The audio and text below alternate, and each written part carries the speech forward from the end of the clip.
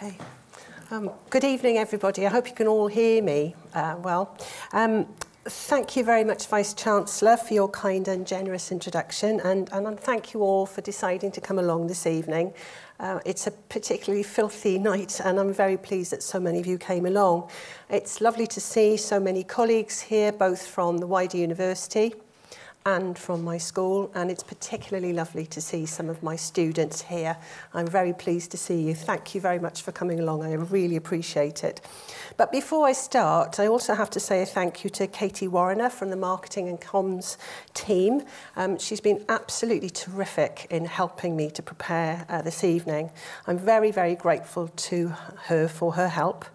Um, and I take responsibility for the text, but take, Katie takes the credit for the slides. So thanks, Katie, you've been terrific. I was just saying to uh, Professor Tara Dean, our PVC for Research and Enterprise, it does feel slightly strange to be standing up here delivering an inaugural some six years after first being granted a professorial title and some three and a half years since joining Brighton. But here we are. And I really hope that what I have to say this evening you will find informative, instructive and challenging. The behaviourist psychologist B.F. Skinner claimed that education is what remains when what is learnt has been forgotten. So whilst you may forget the details of what I say, my hope is that you will take away a different perspective on the ethics of research and why it is such an important issue in contemporary academic life.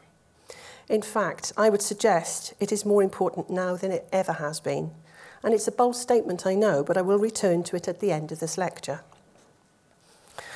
What doesn't seem strange is to be talking to you about the ethics of research. As the Vice-Chancellor stated uh, just in her introduction, human participant research ethics has been an important part of my professional life for over 18 years. Um, for the NHS, the Health Regulation Authority, my professional body, the British Psychological Society, and in both Aberystwyth University and here in Brighton. Engaging with the ethics of research continues to provide opportunities for intellectual debate and the sharing of different perspectives in the governance of research processes with human participants. It can be argued that the process of research is a moral one, aimed as it is at supporting the generation of new knowledge and in so doing, enhancing human experience and the worlds we inhabit. And if conducting research has a moral purpose, I would argue that the process of research has to be supported by a moral framework that guides and enables positive outcomes for participants and societies. The questions that then arise are whose ethics? How do we decide? And who has oversight of the process?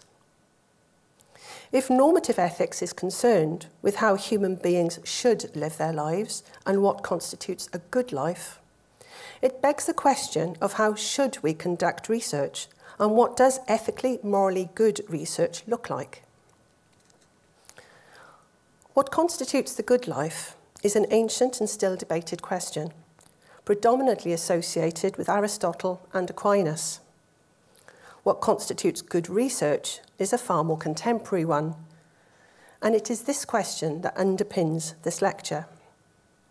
How should we conduct research with human participants? What is the current state of play? How did we get to this point? And how should we engage with the ethics of research with human participants in the future? These are the questions that shape the arguments I will be making this evening. Now, at this point, I'm going to take some temporal liberties with the publicised title. What you can see here is this rather beautiful image on the slide is of the Roman god Janus. Janus, this image is referred to as a Janus face, was the god of doorways. He could look both backwards and forwards simultaneously. Just as when we stand in a doorway, we can see both where we've come from and where we are going. So my series of arguments starts from standing in the doorway that represents contemporary research ethics. I'm going to outline where we currently are, before looking back to the antecedents of current practice, and then look forward to see what the future might hold. A research ethics journey which will be informed by the normative ethics approaches of utilitarianism, principalism, deontology, and virtue. The defining characteristics of contemporary research ethics practice are legislation and governance. If ethics is concerned with doing the right thing, governance is concerned with doing the right thing in the right way. And for the last 60 or so years, the right way has been through the development of and compliance with codes of research ethics. The process of codification lies at the heart of how research with human participants is conducted. Government bodies, such as the UK Research Innovation and their subsidiary funding councils, the MRC, the ESRC, AHRC, etc., major charitable research funders such as the Wellcome Trust, Leverhulme Foundation and the British Academy, charities such as Macmillan and Cancer Research UK, all have their codes of research ethics which beneficiaries have to conform with as a condition of funding. Legislation also plays its part. For example, the Mental Capacity Act two of 2005 requires researchers to consider the issue of consent to research with participants who have impaired cognitive function. The Human Tissue Act of 2006 and government organisations such as the Human Fertilisation and Embryology Authority dictate what is permissible when seeking and conducting research with donations of human tissues and organs.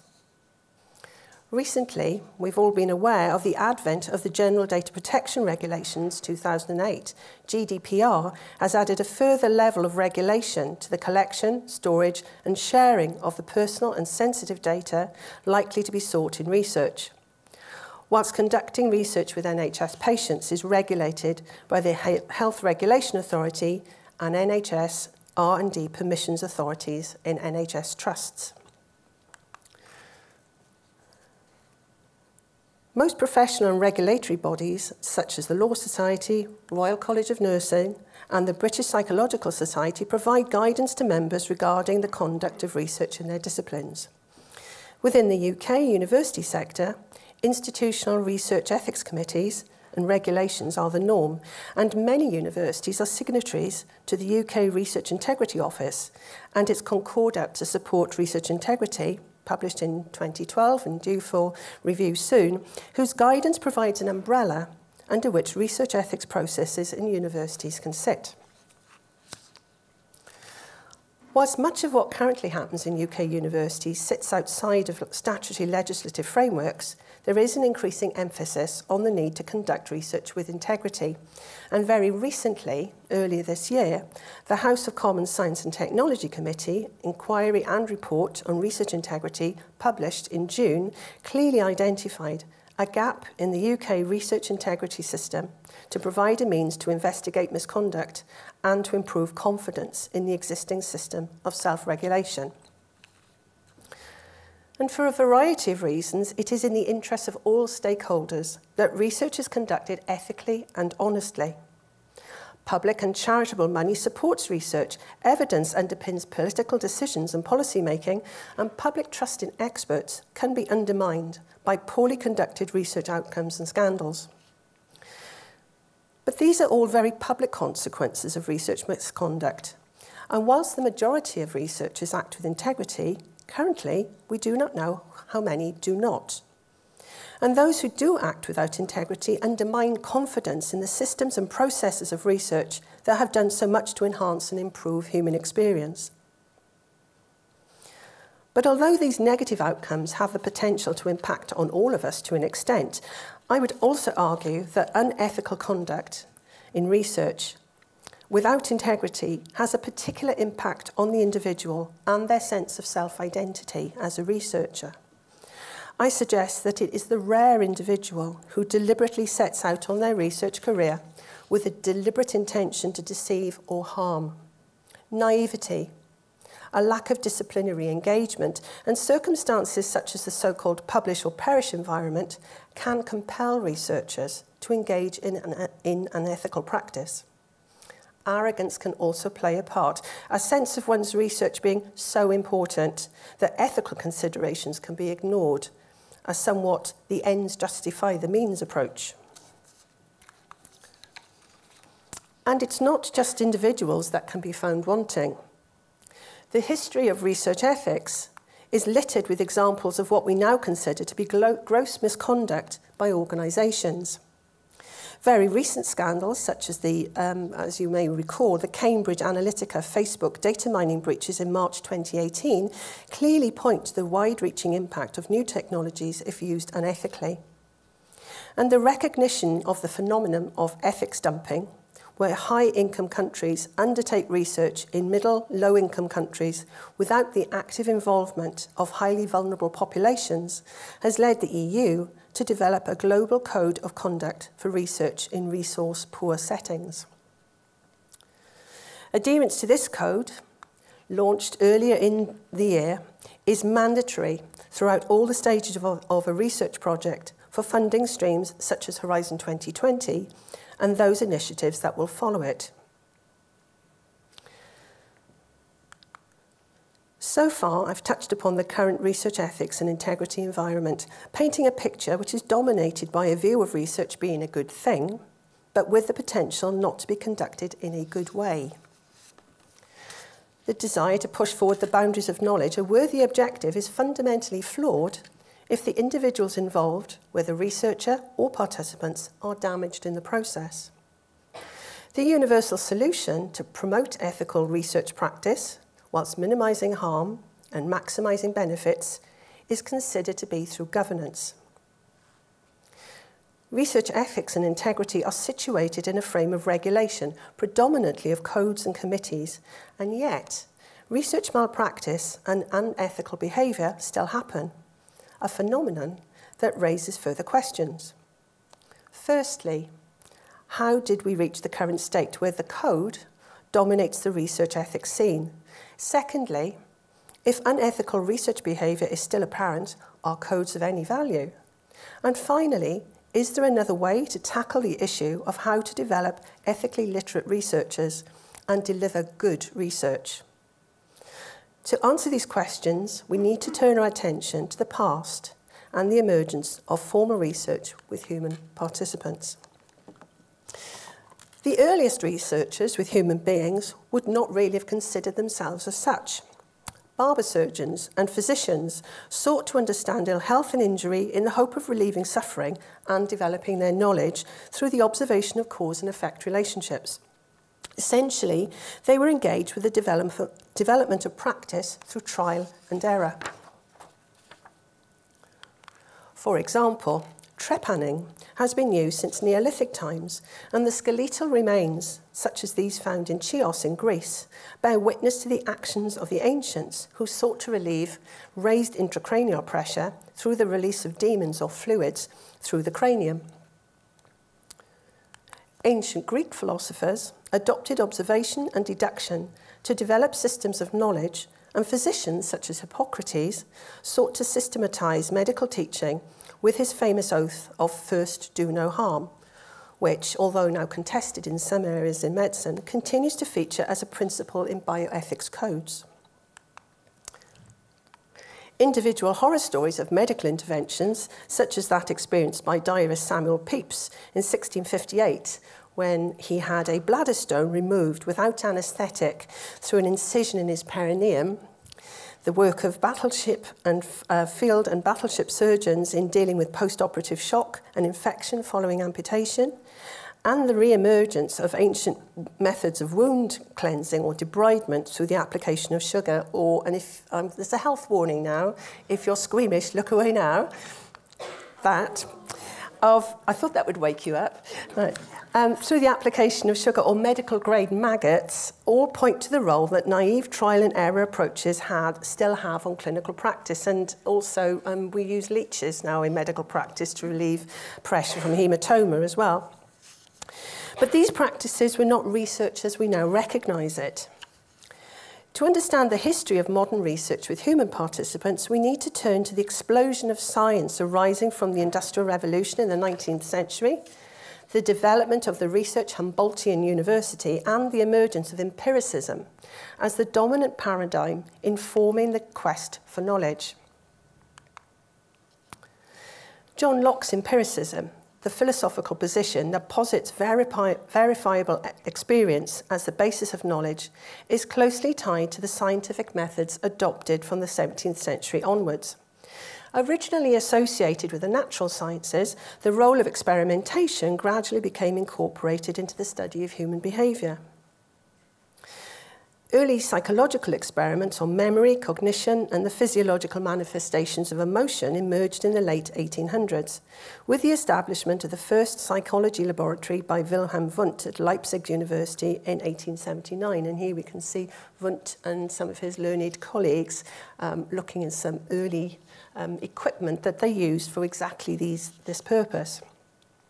Introspection which we might think of as an early manifestation of mindfulness, enabled researchers to understand the internal mental processes of thought through an objective process. Now, whether any ethical considerations featured is debatable, but what we do know is that from psychology and medicine, and particularly medical and psychological research that we would now consider exploitative, that modern human participant research ethics has arisen within the context of a far greater awareness of the potential and actual harm that can result from research aimed at developing new knowledge. It is often the scandals in society that act as a catalyst for change, and I've been very intrigued by a book recently published by Dr. Sam Cooley, a sports psychologist at the University of Birmingham. And he published this book on uh, the strange and very alarming experiments that have influenced the development of modern research ethics practices.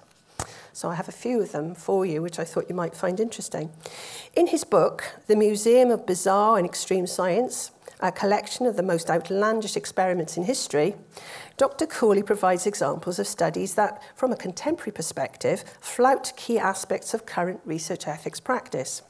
For example, the need to minimise harm to the participants would no doubt have been breached in a study seeking to study facial expressions through the observation of how participants reacted to watching the decapitation of live rats. Avoiding harm to the researcher is at odds with the actions of the researcher who, in the mid 1880s, injected himself with the mashed up testicles of dogs and guinea pigs to improve his health. And finally, all psychology students are aware of the Little Albert experiment, in which Watson and Rayner in 1920 conditioned a baby, a nine-month-old baby called Little Albert, to fear fluffy objects through pairing the appearance of a toy rabbit with a loud and frightening noise. And I'm very grateful to Katie for finding a seasonal example here because they even paired fear with Father Christmas. And you, I have to admit that mask is pretty scary, so I don't blame little Albert. It was unremarkable in 1920, but definitely not acceptable today because the price paid by little Albert in terms of psychological harm would be considered too great, despite the knowledge about the origins of phobias that was developed. What these examples demonstrate is that the development of research ethics cannot be divorced from the socio-cultural and political environments in which such work is conducted. Social mores change, and if social attitudes and behaviours considered acceptable even in the last decade are now being questioned, how more so are the events of the more distant past? In research ethics, some research scandals stand out as the game changers. The events that influence the way in which we conduct research with human participants irrevocably, the legacy of which shape our practice today. And it is to these that we now turn our attention. On June 2nd, 1948, seven Nazi doctors were hung at Landsberg prison in Bavaria. First amongst them was Professor Karl Gebhardt, chief surgeon to the SS, who held the rank of Major General and was president of the German Red Cross. In total, 20 doctors were tried in the International Tribunal at Nuremberg. Charges included medical experimentation without consent of prisoners of war, on members of occupied countries, and vulnerable individuals with mental illness or learning disabilities. Surgical experimentation and the infliction of battlefield injuries to further the development of reconstructive surgery, all without anaesthetic, were common.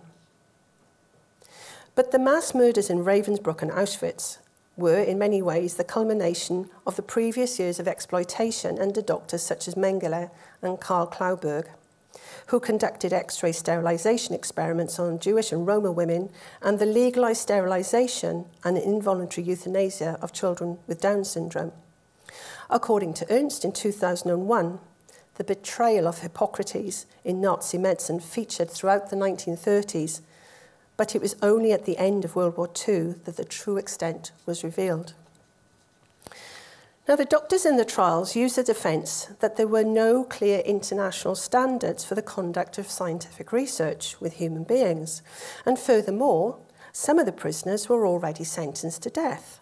In their view, experimentation would make no material difference to their long-term survival. But these arguments held no sway when held against the standards any civilized human being would recognize or expect. What emerged from the doctor's trial and was further reinforced by similar revelations and war crimes committed by Japanese doctors on prisoners of war and in occupied areas of China was the Nuremberg Code 1949 that places informed voluntary consent at the heart of any research study with human participants. The code and the Declaration of Helsinki, adopted in 1964 by the World Medical Assembly, set out the principles on which all subsequent codes have been developed. But whilst both documents clearly reflected the reaction and horror felt by countries with respect to the war crimes con conducted in the name of research, it is another infamous study that has really led to the development of research ethics governance as we now know it today. On the 16th of May 1997, President Bill Clinton issued a formal apology from the American people to the survivors of a 40-year-long medical research experiment, the infamous Tuskegee study of untreated syphilis in the Negro male, which became synonymous with the exploitation of African Americans. This investigation of the trajectory of untreated syphilis was a longitudinal study that flouted many of the principles of Nuremberg and Helsinki. It exposed men and their families to high levels of risk as the progression of this life-limiting disease was monitored over many years. And at no time were the men given treatment, even when effective medication had been available for decades. Tuskegee stands out as an example of systematic exploitation of vulnerable participants, and it was only halted in 1972.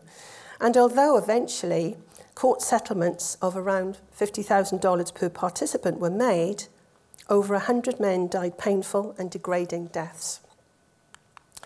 In Europe, another highly influential study that changed biomedical research was the thalidomide scandal of the 1960s, where pregnant women experiencing nausea and vomiting in early pregnancy were offered the drug without knowing they were part of a trial.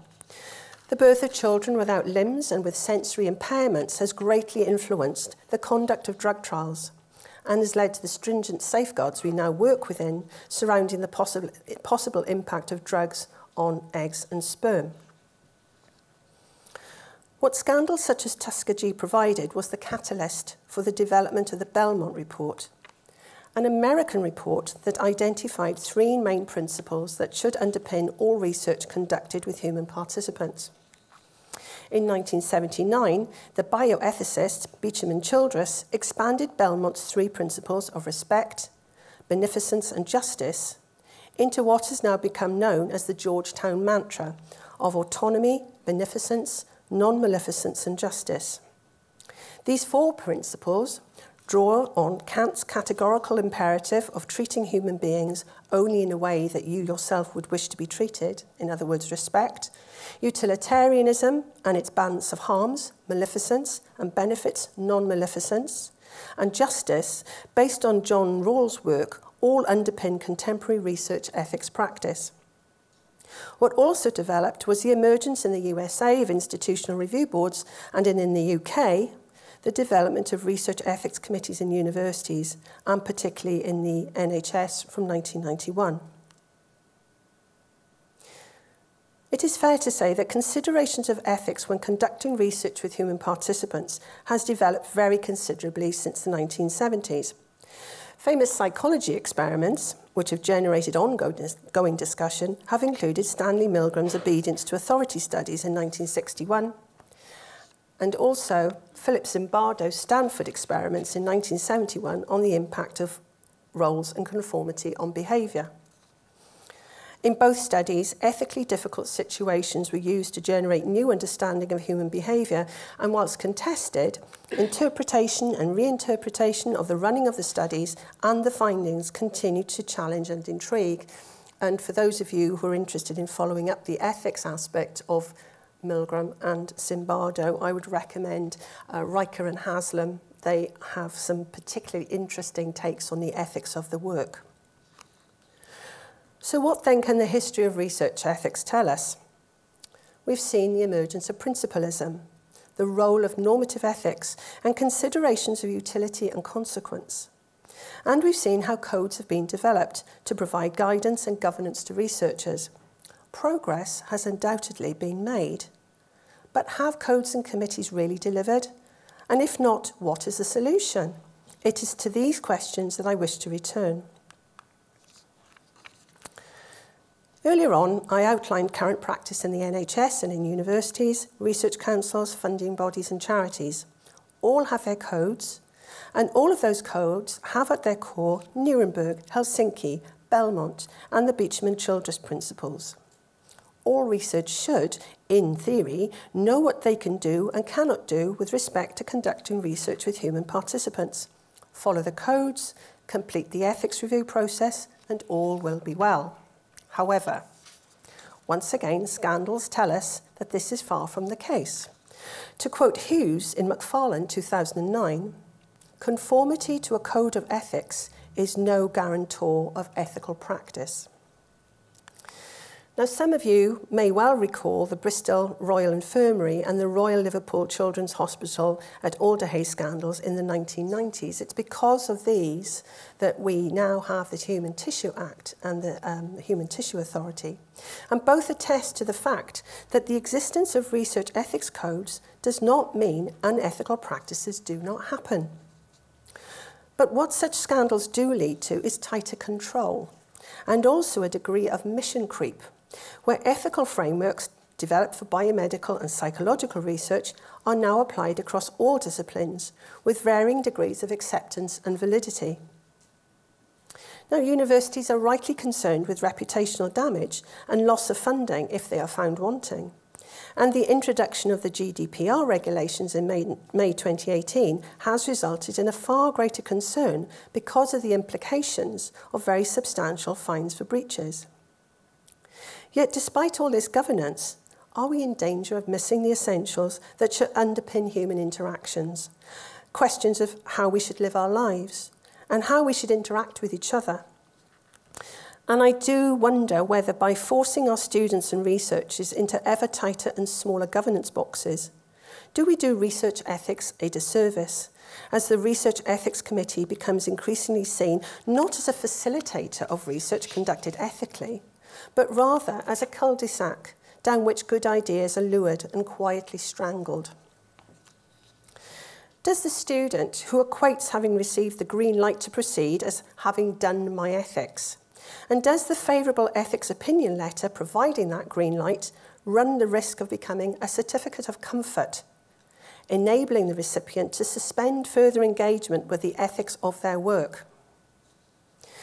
Now, my commitment to the ethics of research remains undimmed, but my fear is that whilst how we currently practice research ethics governance may be necessary to provide a common ground of guidance we can share, it is not sufficient to develop the real and authentic sense of ethical awareness essential in the next generation of researchers and for future research. At a time when technology is moving so fast, and globalization and internationalization is ever increasing, can codes really evolve fast enough to keep up? And are those codes so rooted in Western ethics, philosophy, and practices that they lack relevance and credibility for many individuals we seek to work with? It is to these limitations and a possible way forward that I will now turn.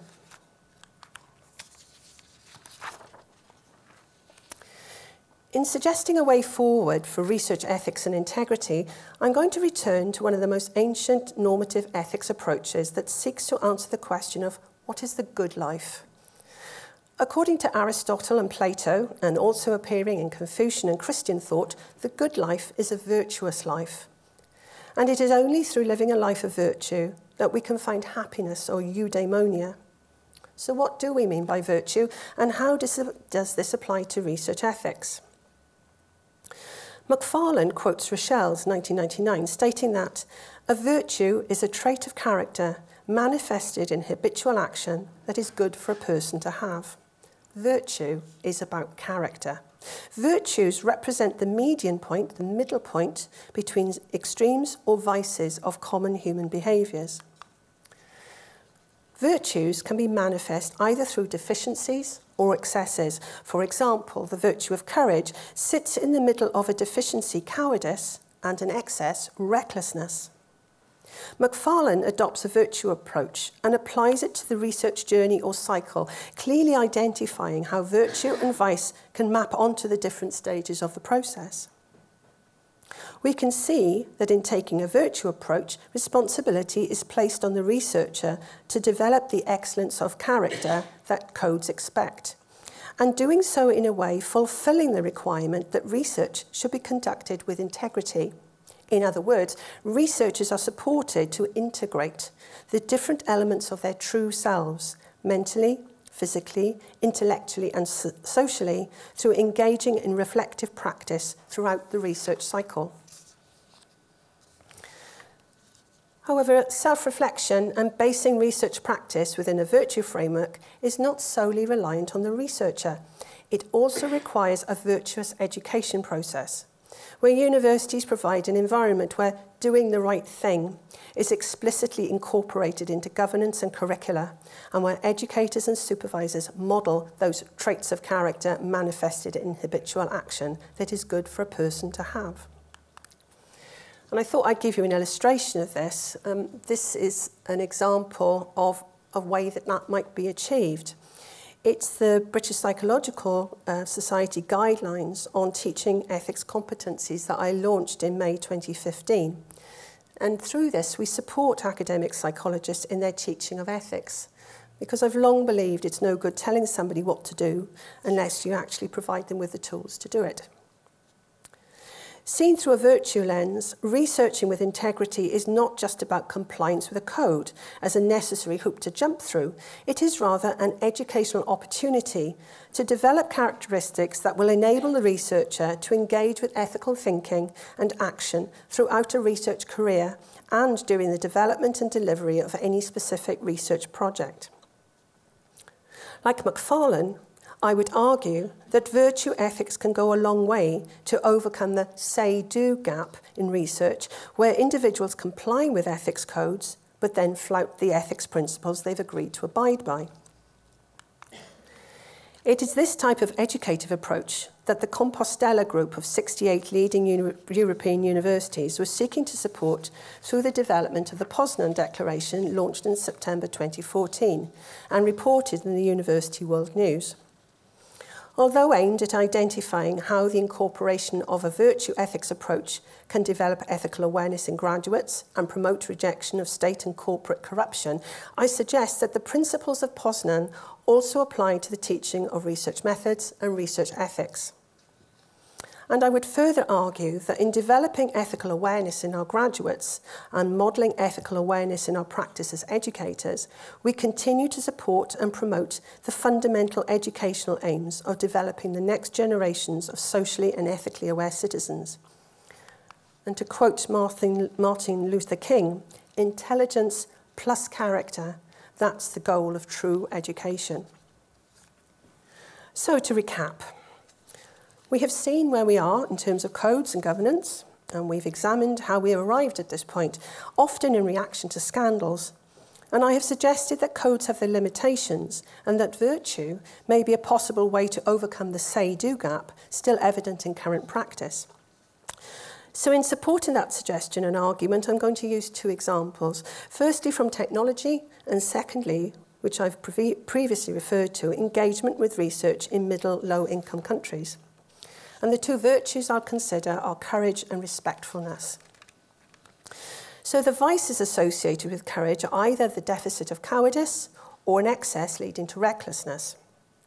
In their 2011 paper, Bostrom and Yudkowsky considered how the development of artificial intelligence, AI, has both the potential to greatly enhance human life or to destroy it. What is required in the advancement of AI is not just the development of the algorithms for breathtakingly fast and effective decision making superior to human capability, but the development of a machine ethics that is also human superior in its ethics capabilities. For those who develop such systems, considerations of virtue and vice are essential. Being overly fearful could result in the loss of opportunities to address human problems such as climate change and increasing food production. Being reckless could result in the development of systems causing irrevocable harm through increased inequalities or damage to human and natural existence. The ability to recognize and incorporate an ethical mindset into the development of AI is essential to both maximize potential and minimising harm. And interestingly, I received this paper only last week by Dr. I, um, Ian Brown on exactly this issue, and it's currently a piece of work that's been investigated in the Commons um, Science and Technology Committee, and this paper is entitled Artificial Intelligence, the Science of Practical Ethics. It's a very good read, I recommend it. The second virtue I want to consider has been key to research ethics since the first Nuremberg Code. Respectfulness should sit at the heart of ethics relationships with participants. Informed consent is the most frequently cited manifestation of it. It was respectfulness that was singularly lacking in the Tuskegee scandal, where participants were deliberately exploited in a highly manipulative manner because of their educational disadvantages and their lack of socioeconomic capital. Respectfulness is an essential component of work in sensitive areas. Much of the work that we do here in Brighton is in just these areas. Disclosures of personal experience of HIV, AIDS, suicide, sexual abuse, or in my own area of research expertise, male urogenital cancer, are dependent on rapport and the avoidance of researcher-participant relationships that could potentially exploit participants and their vulnerability. From a global perspective, conducting research in a disrespectful manner also runs a risk of exploiting Indigenous First Nation peoples, both in terms of their knowledge and in terms of their environments. Now, I previously referred to the EU Global Code of Conduct for Research in Resource Poor Settings, which was developed in partnership with indigenous populations such as the South African San people. And in New Zealand, the Treaty of Waitangi, dating back to the 19th century and protected of the rights and lands of the Maori peoples, is incorporated into research codes of practice. A particularly lyrical example, and there's a really nice wrap on the web website if you want to take a look at it, is the Code of Research Ethics produced by the Trust Global Code of Conduct, which requires researchers to work with the collectivist cultural traditions of the San, a group that has been greatly exploited for many years. By working respectfully in a global research environment is not just about the avoidance of manipulation and exploitation, and the partiality of one group over another. It is also about considering the differing ethical and philosophical positions of those we seek to work with. We need to avoid the imposition of ethical imperialism through the application of codes of ethics predicated on the autonomy of the individual to act in their own best interests rather than the authority of the community to make decisions about what is in the best interest of the group.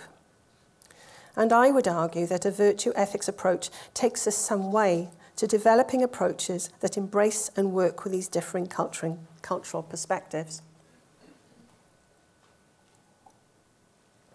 So some final thoughts. At the start of this lecture, I said I was going to outline where we currently are before looking back to the antecedents of current practice and then looking forward to see what the future might hold.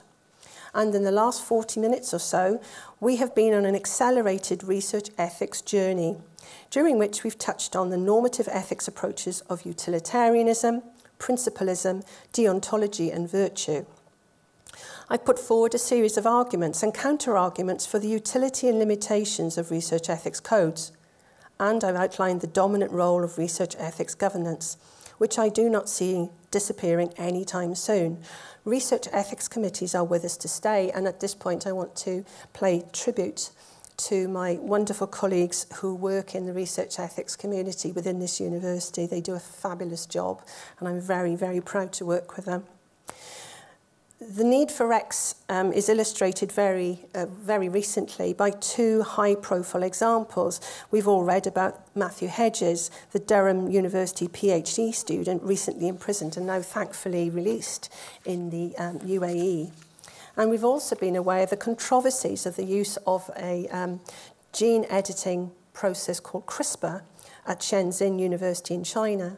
And both these examples clearly demonstrate the need for robust and effective research review process, processes to protect both the researcher and the researched.